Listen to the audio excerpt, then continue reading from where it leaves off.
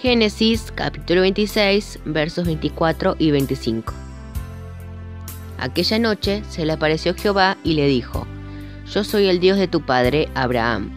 No temas porque yo estoy contigo.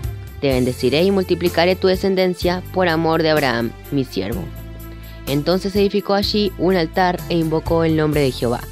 Plantó allí su tienda y abrieron allí un pozo los siervos de Isaac. Primero Dios.